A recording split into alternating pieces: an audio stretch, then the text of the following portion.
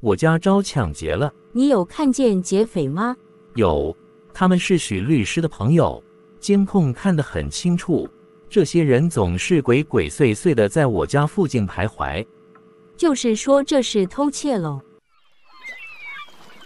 你看我像不像周董？哈哈，我们打扮这样，就没人能认出我们了。